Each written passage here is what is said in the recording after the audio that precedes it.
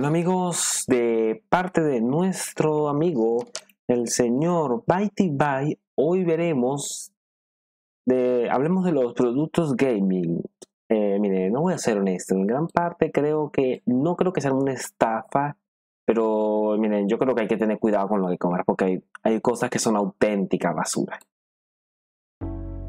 Desde hace unos años estamos completamente inundados de productos Sí. gamers. Productos que aseguran más FPS, mejor rendimiento, que mantendrán tu Bueno, más FPS no, porque ahí sí hay productos que vamos a estar claros que son pura estética, pura estética. O sea, recuerdo una vez una vaina que era un inodoro gamer. ¿Para qué quieres un inodoro gamer? ¿Para qué quieres un inodoro gamer? Me buena pregunta, señores. Buena pregunta. Tu virginidad completamente a salvo. Y los Hmm. suscriptores me han pedido que hable hoy sobre estos productos. ¿Son una estafa? ¿Son una moda? ¿Realmente son un tipo de producto a tener en cuenta? Sillas gamers, auriculares gamers, memoria RAM gamer, discos duros gamers, Bueno, el disco duro podría ser de mayor escritura y el sea, pero en general no le veo sentido. Así de simple. Mm, ya va, porque no. Ay, ¿qué más da? No me lee los ojos como yo quiero el, programa. ¿Qué más da? Bebidas energéticas gamers, pastillitas gamers, camas gamers, mesas gamers y, sin duda, mi favorita, guacamole gamer. ¡Órale, puto! Y claro, llegados a este punto, uno no puede evitar preguntarse, ¿qué cojones es lo que hace que un producto sea gamer? Porque con la mesa gamer, o el disco duro, o la memoria RAM gamer, lo tenemos claro, ¿no? Los LED. Los puñeteros LED. Sí, Pero, ¿la cama gamer te va a Mm, voy a hacer, mira, la cama gamer te ayuda, no sé, a renderizar mejor los sueños, tal vez. Renderizar mejor los sueños, cargar la partida más rápido. Porque, mm, no sé, no se me ocurre nada. ayudar a minimizar el tiempo? Pero sí, sí, me gustaría. Bueno, no, sí, tengo el techo bastante alto como para poner esto, así que sí, pero no. Lo que no me acuerdo es que esa cama es como que. uh, muy pequeña. Yo tengo una cama matrimonial para mí solo, así que. Qué malo que no tengo alguien con compartirla, pero sí, una cama matrimonial para mí solo, sí. Y aquí, bueno, no sé, no sé. Un solo monitor, mira, no es lo mío. Yo quiero dos. tiempo de carga entre la noche y el día. ¿Qué coño es Mm. esto? Pero bueno, parece que la respuesta La cama gamer es para renderizar mejor los sueños, Byte Byte. Así de simple. Parece también obvia, ¿no? Que tiene LEDs. Pero los calzoncillos gamers, Ah. o sea, ¿qué cojones se supone que hacen? LED. ¿Mejoran tus FPS? ¿Ahuyentan a las mujeres? Y espero que el guacamole gamer no tenga LEDs. Porque si no, la mierda que cague va a ser la mierda más bonita que cagaré en mi vida. Pero está Mm, claro no sé. que hay un altísimo porcentaje de engañabobos dentro de este mundillo. La bebida energética gamer es Oh, cierto, también recuerdo que una vez hablando de los, la ropa interior gamer, una vez estaba en AliExpress y me salió una tanga gamer que tenía luces y todo, y yo me quedé como, cada día el apocalipsis deja de ser una, per- deja de ser, deja de- cada día el apocalipsis deja de ser una perdición y se vuelve una esperanza. Sorpresa, bebida energética. Es Mm. lo mismo con otro envoltorio y costándote Mm. 10 euros más. Las pastillas gamers que te prometen energía limpia, concentrarte durante horas o que tiene ingredientes patentados, ya estamos con las patentes de los cojones. cierto, no se pueden patentar ingredientes, pero bueno, al final no dejan de ser pastillas Mm. con cafeína. De hecho, esta gente tiene otra vertiente de pastillas llamada verduras.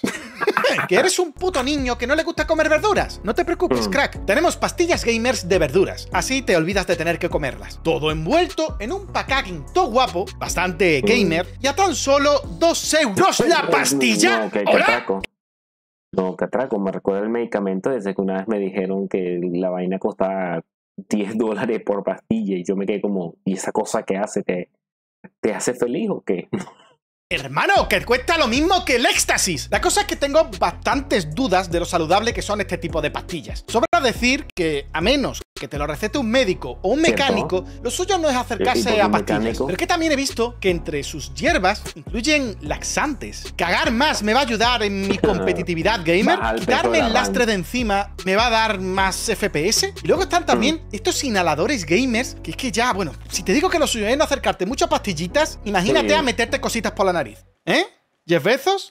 Mire, es que vamos a estar claros, con los vapers eso es un desastre, porque la gente dice, no, es que, bueno, sí, no tienen los mismos ingredientes, pero el problema con el vapor es que igual está entrando en los pulmones. Así que, imagínate. Escucha que esto va por ti. Ponerle una etiqueta gamer a un producto y vendértelo un 50% más caro, desde Mm. luego, que es un negociazo, ¿no? Mentalidad de tiburón y tal, ¿no? ¿Calcetines gamer? ¿En Ah. serio? Pero fuera de estos Ay, productos está bonito. engañabobos, hay productos que realmente merecen la pena. Hay productos... ¿En serio? Pero fuera de Esto-. Esta, esta escultura, porque es una escultura, vaina se ve brutal. O me lo van a negar. ¿Me lo van a negar? ¿Me lo van a negar? No, ¿verdad? No. Ok. Estos productos engañabobos, ¿hay productos que realmente merecen la pena? Pues vamos a Mm, empezar no por las sillas gamer. Estas sillas, todas guapas, que de hecho parecen Ay, no, un sillín de bebé para el coche, ¿no? Hay unas que son basura. Pues realmente no está muy lejos de la realidad. Nos tenemos que Mm. remontar al año 2005, donde la gente se sentaba en estas vulgares sillas de plástico para Ay, jugar. no. Ah, ¡Qué asco! Así Recuerdo cuando iba al en el, en el pueblo donde yo estudiaba y, Dios mío, 500 bolos costaba la hora. Y era puro Counter-Strike. O sea, ya no sé ni cómo jugar esta cosa online, pero yo jugaba puro Counter-Strike 1.6. Y, oh, Dios mío. Las mutadas que nos echábamos ahí. Qué buenos tiempos. Y sí, Así no puedo sacar todo mi potencial gamer. Estados Unidos arrastra Mm. una crisis automovilística durante varios años donde se ven afectadas principalmente los coches de lujo. Y claro, Claro. esto no afecta solo a los fabricantes de coches, sino también a Sino los todo. fabricantes de componentes de esos coches, entre ellos, Mm. como podréis adivinar, de asientos, asientos de coche. Y aquí entra DX Racer, que es una de estas afectadas que tiene Mm. todo el almacén de asientos de coches de lujo. Y tiene una idea millonaria. Oye, parece un si le pongo Marvel, ruedas, reposa brazos y te lo vendo como una silla gamer, concepto Mm. que todavía no existía. Y así fue como un año después, 2006, nació la primera silla gamer de la historia. Vaya, que podían ¿no? haber cogido a mi abuela, ponerle ruedas, reposabrazos y sería la primera abuela gamer. Este señor, con un extraño parecido a Ocelote, por lo Oye. que deduzco que odiará a las mujeres, nos vende Pero les voy a ser esto. Yo tengo, el- este Ya. nuevo concepto yo tengo el mismo peinado que él. Sí, yo tengo el mismo peinado que él. Pero me falta el traje y los millones. Simplemente. nos vende este nuevo Y concepto como una absoluta revolución. ¿Y sabes lo peor? Que lo sería. Porque a raíz de ahí, DX Ay, no. Racer crearía escuela y las sillas gamer se convertirían en un estándar. Eso sí, después de haber patrocinado absolutamente todos No, los claro. equipos de Si eSports. no. Y ahora bien, ¿las sillas gamer son la mejor opción para el jugador?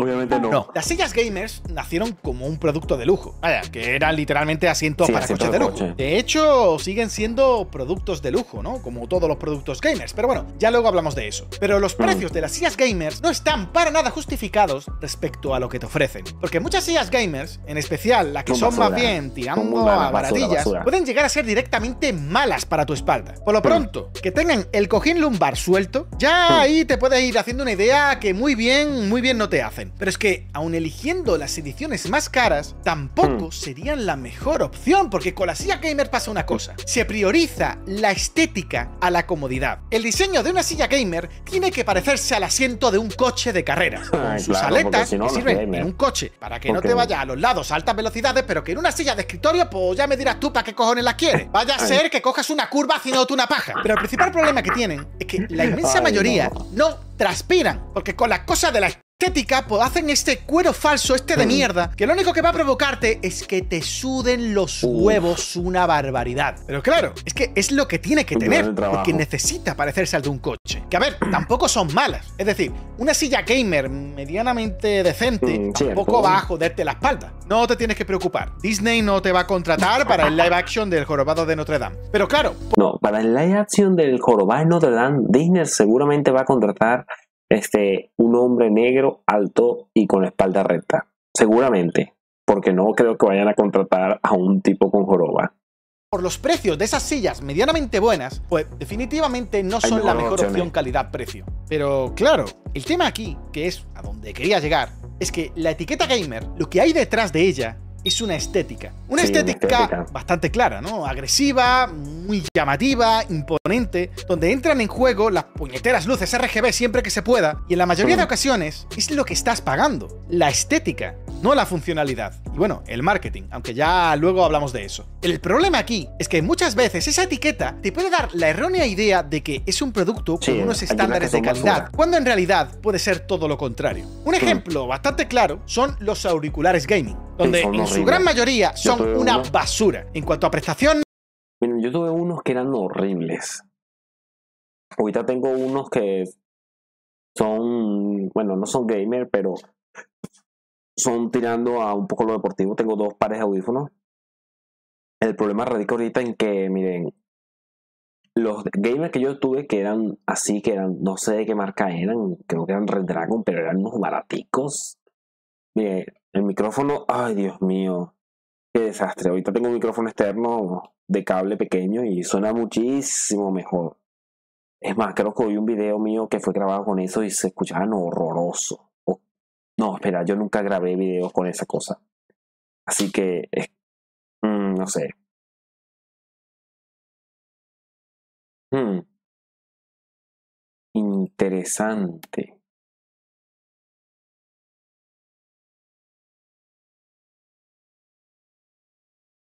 Hmm, ya, bueno, ¿qué más da? Continuemos. En cuanto a materiales y en cuanto a calidad. Si quieres obtener Mm. buenos auriculares, la mejor opción es alejarte completamente de la etiqueta gamer. Sí, ya que lo único que te asegura es que el auricular va a tener un micrófono incorporado Mm. que sonará como si lo tuvieras metido todo el rato por el culo. El máximo exponente de esto fue Tommy Hilfiger, la famosa marca de ropa, que decidió sacar unos auriculares gamer. Ay, Todavía mío. a día de hoy me sigue pareciendo raro de cojones poder comprar en Zalando, una tienda de ropa, unos auriculares gamers. Pero bueno, para hacerte una idea Mm. de la calidad de estos auriculares, la descripción del producto es Mm. el porcentaje de los materiales que tiene, no las Ay, funcionalidades. no. Son Bluetooth, eh, son 5.1, oh, ni puta idea, pero son un 62% plástico, un 9,4% de esponja y un Hmm. 18,6% en una placa de circuito impreso. ¿Ves? ¿Ves estos músculos, crack? 9,4% de pura esponja, bro. Y ojito, que este vídeo está patrocinado por NordVPN. Vamos al lío. A estas alturas ya deberíais saber perfectamente lo que es un VPN. Técnicamente no hablando, es una red privada sí. a la que nos conectamos para navegar a través de ella. Pero a ti esto te da igual. Tú lo que quieres saber es para qué sirve. Pues primero Ya para va, enmascarar aquí. a NordVPN por patrocinar este vídeo. Y bueno, NordVPN, un día deberías patrocinarme a mí si quieres que veas tu anuncio.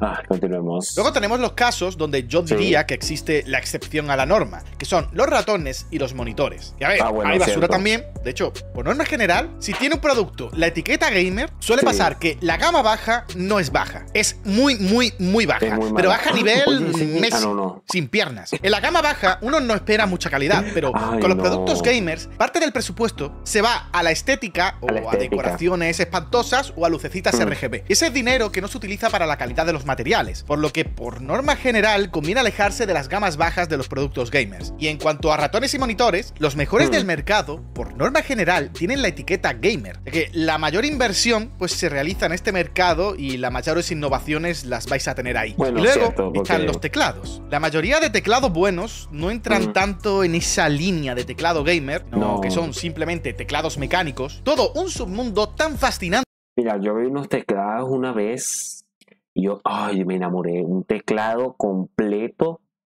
mecánico, mecánico, pero con sensor láser. Y yo me quedé, o sea, ¿cómo es que era la vaina? Sensor láser de cuatro niveles y yo, o sea, que dentro de cada botón hay, hay, hay, hay cuatro líneas láser de altura, ¿no? De altura. ¿Y esto para qué sirve? Simplemente que cuando presionas una, o sea, con presionar una cuenta como tecla, ¿no? Pero cuando presionas una y solo marcas una, cuenta como menos intensidad. Cuando marcas las cuatro es que cuenta como mayor intensidad. Y también tiene reacción retroactiva con, con el teclado. O sea, que las teclas también lo ponen cierta resistencia dependiendo de lo que haya en la pantalla. Espectacular. Pero ahí en cuanto condenaba ese ahí en cuanto costaba ese teclado. Pues yo tenía que dar medio hígado, porque por increíble que parezca, eso lo vi hace como dos años, costaba 2.600 dólares el teclado. Y yo me quedé como con cara de, con una cara de, de no sé, no sé, no sé, quedé o algo así, pero bueno. No, qué desastre. Pero continuemos entonces. Como tremendamente friki. No hay nada más tierno que ver a un fan absoluto de los teclados mecánicos hablarte con pasión de Mm, bueno, pues es que este depende. Switch, el Red Dragon, tiene un sonido muy bueno. Muy bueno, muy rico. Mm, muy rico. Pero es que el tacto no es tan bueno. Pero eso lo podemos solucionar añadiendo aceite de cría de marmota para ganar suavidad. Y aquí puedes seguir la misma No. norma que antes. Teclado gamer de 50 pavinis. Sabes que en su mayoría es un teclado puerco de 10 Basura, pavinis basura. que le han pegado unas luces LEDs. Por norma Ya va, ¿qué carajo? Eh. Chin. Chin. Ay, no. No, joda, mi chino no, no da para eso. LEDs. Por norma general, si no especifican qué tipo de switch se utiliza en el teclado, Es eso membrana. ya suele ser mala señal. Y luego están los teclados gamers mecánicos, entre comillas. Mm, porque no literalmente te ponen mecánico, entre comillas, porque no son mecánicos, son semimecánicos. Que estos son o bien teclados con unas Mm. pocas teclas mecánicas y el resto de membrana, o son teclados como el Razer Ornata, que supongo que tendrá su público, pero a mí me parece un poco vergüenza, que Sí. tienen lo que llaman membrana mecánica, que básicamente es un teclado de membrana con un No. pequeño clip dentro que imita el sonido de los teclados mecánicos. No, qué Vaya, vergüenza. que es como los que pagan para que su coche eléctrico reproduzca un MP3 al acelerar para que suene como un coche de gasolina. y tiene todo sentido. esto a un precio de entre 60 y Pero el auto tiene más sentido porque hay autos eléctricos que no se escuchan ni verga y si vas pasando por una esquina te pueden llevar, te pueden atropellar. Así que que el auto suene un poco a eléctrico, que el auto eléctrico tenga un sonor como un motor, mira, tiene más sentido que el teclado este, pero. Pero, ay, no. 100 Humanidad, señores. Y con esto voy a dar pie al luxury marketing o luxury branding. Hacía mucho que no hablaba de marketing en este canal, o Sí. lo echaba de menos, aunque voy a ser muy muy breve, ya que Hmm. he hablado anteriormente del branding o de cómo se usa el marketing para vender jueguitos, pues el luxury Hmm. marketing o el marketing de lujos, no sé cuál sería la traducción literal, es conseguir crear una marca o unos productos que se relacionen con un símbolo de estatus, de exclusividad, de prestigio, de diferenciación. No cobras estos productos solo porque pienses que son la mejor opción calidad-precio. Lo haces por la exclusividad y el estatus que tienen detrás. y esto, obviamente, se consigue pagando más por estos productos. A todos nos vienen a la cabeza las marcas de ropa exclusiva. Sí, eso pasa no solo con marcas de ropa. Por ejemplo, hay autos que honestamente por calidad-precio no valen la pena tampoco. Motos tampoco. Y ciertas cosas tampoco. Pero la gente las compra pues, ay, mira, yo, yo, yo soy de la élite y tú eres de la plebe. Arrodíllate ante mí. Parece que muchas veces los ricos compran cosas que no tienen sentido para la mayoría de la gente que lo piensa normal. Y es como, eh, ¿qué es esto? Así que vayamos.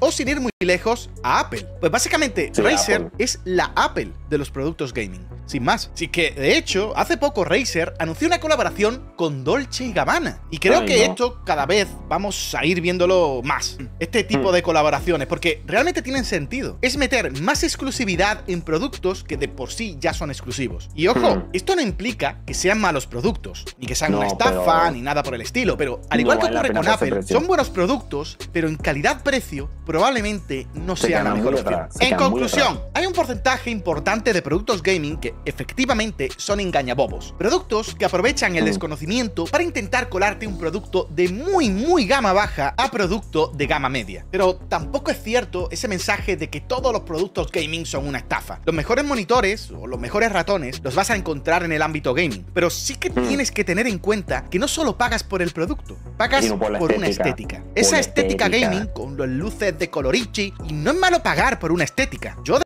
luces de colorichi yo quiero armarme una habitación así. Oh, Dios mío, tiene el micrófono aquí, qué god, qué god, pero. Espera, pero el micrófono no lo interpone en la cámara o, o cómo vamos. Eh, ah, Dios mío, no, miren, es- eh, me está dando orgasmo viendo esta cosa.